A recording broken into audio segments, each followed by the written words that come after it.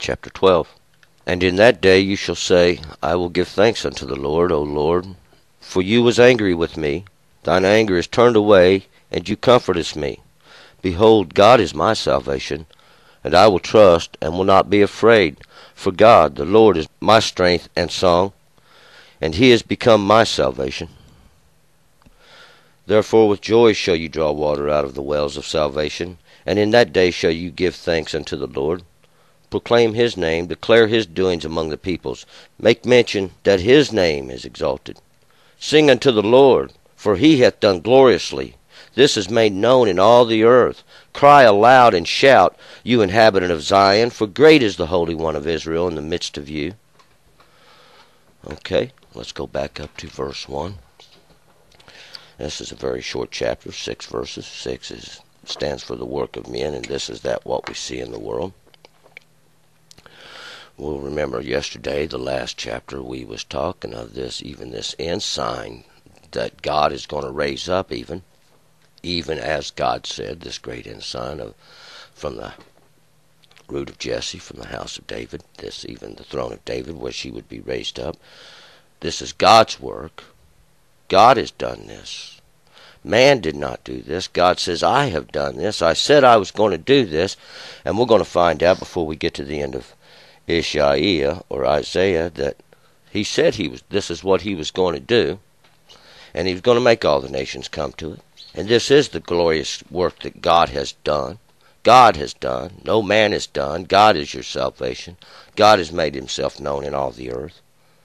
God has done this. 1. And in that day you shall say, I will give thanks unto you, O Lord, for you was angry with me. Your anger is turned away, and you comfortest me. And who?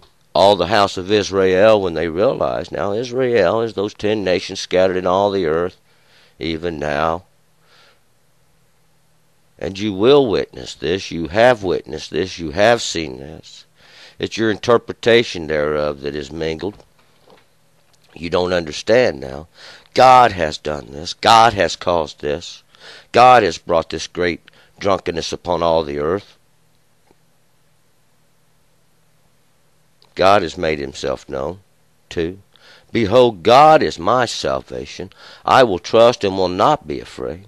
For God, the Lord, is my strength and song. He has become my salvation. God has become my salvation through the understanding that God has shown himself now in his work. Not the work, in his work has he shown himself. 3. Therefore, with joy shall you draw water out of the wells of salvation.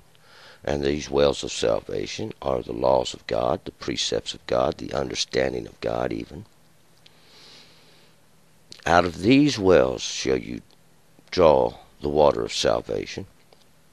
And this is the way it's been from the beginning. But with joy shall you do it. Why? Because you know you serve the Almighty God, which has shown himself strong through the, the declaration of what the prophets have said and the fulfillment thereof in a multitude of years.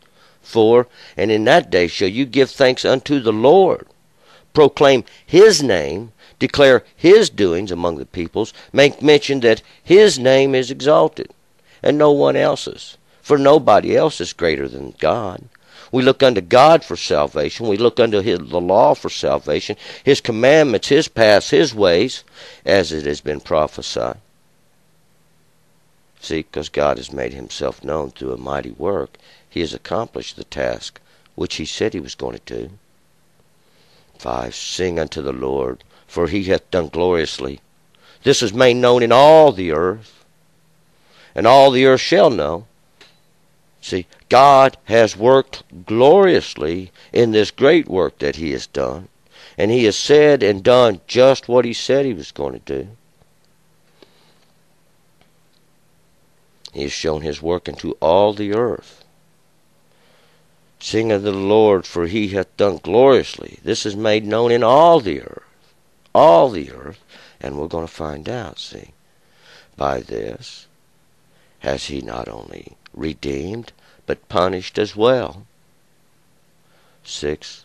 Cry aloud and shout, you inhabitant of Zion. For great is the Holy One of Israel in the midst of you. Cry aloud and shout, you inhabitants of Zion, these that of the parched place. For God has done great. God has worked greatly now in Israel. Even in the midst of all of you has he done this. Exactly what he said he was going to do. See, the zeal of the Lord done this. The jealousy of God done this. And he's going to make it known. Strip you bare, make it known plain as day. See, and this is the work. This is what he's doing now.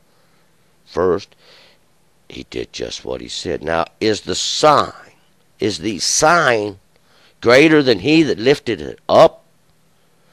No, no, it cannot be. Can the standard be greater than the one that lifted it up? No. See, does the axe boast himself against he that hews with it? No.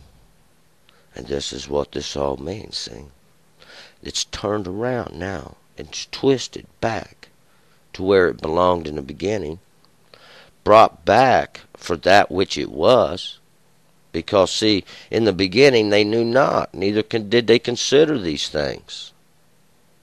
For they was in darkness. Now light has come, and these things are made known. It's evident in all the earth. Fatness now is what will break them. It's already written. We're going to see this great marvelous work that God has done is so marvelous that none do consider it. God is our salvation. God has made himself known. There's no reason to fear. But now, patience for yet a little while. And he turns his wrath. All right, we are going to move on now to chapter 13.